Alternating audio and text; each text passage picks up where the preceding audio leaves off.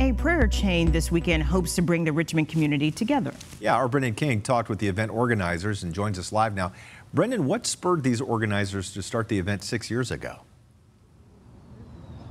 Well, you may remember, Robin Reba, back in 2015, the tragic story of 12 year old Amaya Moses. She was shot and killed back here on the north side. And ever since then, the community said they just couldn't sit back and do nothing. They had to respond. Thus, they created this prayer chain. So take a look at this video. We know that the prayer chain was first organized in 2016 by the Richmond Urban Ministry Institute. Hundreds of people gathering in arms from Chamberlayne Avenue and Brookland Park Boulevard, stretching close to two miles throughout the city.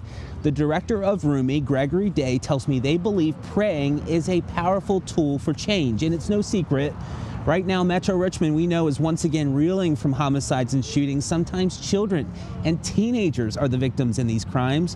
Well, this Saturday, RUMI is once again lining people up for a prayer chain starting at 9:30. The prayer event will also be streamed virtually so anyone can join. The big thing is what do we do after the prayer chain? We don't need to stop. We don't need to cease. Because what happens, let's go and stand on this corner and pray a week from now. Let's pick another corner to go and pray a week from now. We have ministers that will be here. Um, we're going to have a prayer tent up once the prayer is over with. And we just, it's just the power of prayer because we know that God's going to answer.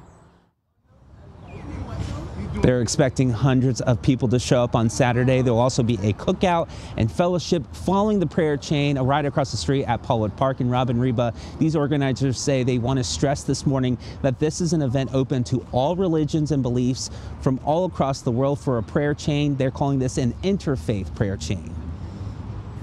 Doing good things in the community. Yeah. All right, Brendan King reporting live. Thanks, Brendan. Global event. Mm -hmm.